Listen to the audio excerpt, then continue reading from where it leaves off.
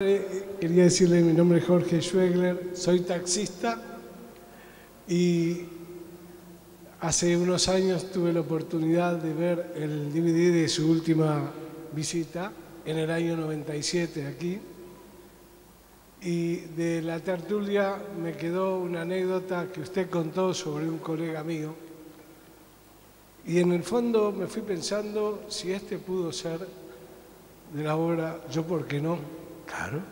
Y desde hace unos meses solicité la admisión y ya soy hijo suyo. Que Dios te bendiga.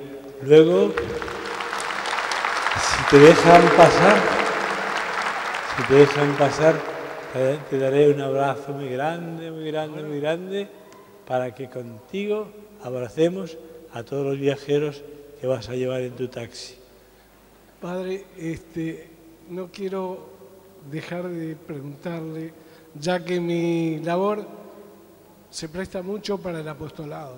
Sí. Lo hago a mi manera, desde el punto de vista de que según me van saliendo las cosas las voy diciendo, ¿no?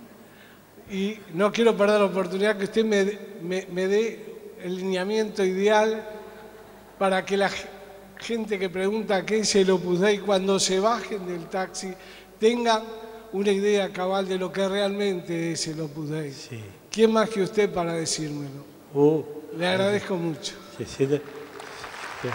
Siéntate. Mira, te sugiero una cosa que comentó San José María a una persona que tenía un trabajo, no digo igual que el tuyo, pero en cierto modo semej- semejante.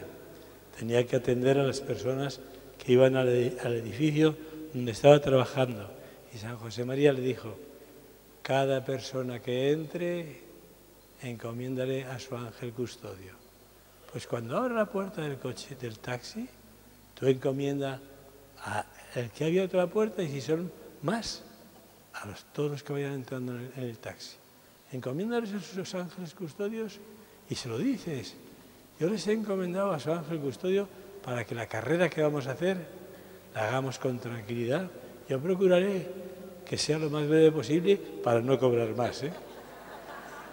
Y después que les digas, ¿por qué hago yo esto? Pues porque estoy muy contento ya que me sé hijo de Dios, como ustedes.